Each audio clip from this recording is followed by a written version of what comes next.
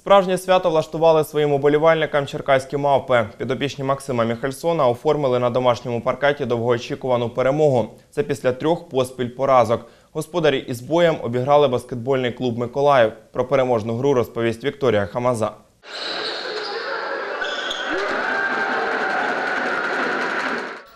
Так розпочинається протистояння черкаських мав та баскетбольного клубу Миколаїв. Рахунок відкривають господарі. Потім вправно користуються низкою втрат корабелів та йдуть у відрив 18-9. Не удался нам старт.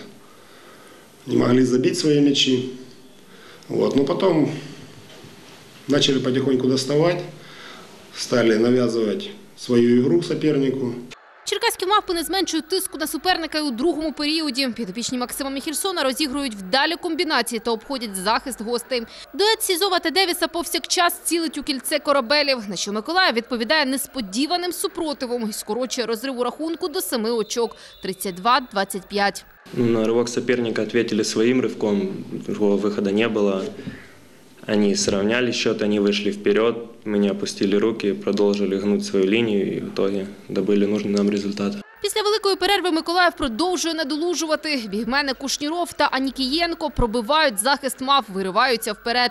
52-50. У заключному періоді підопічні Максима Міхельсона йдуть в агресивну атаку. Низка перестрілок і господарі знову попереду. 67-63 і мавпи оформлюють довгоочікувану перемогу. Сегодня, наконец-то, в четвертой четверти, в концовке, все услышали, все действительно отработали то, что я сказал сейчас в раздевалке. В четвертой четверти концовку мы отыграли с горячим сердцем в защите и с холодной головой в нападении.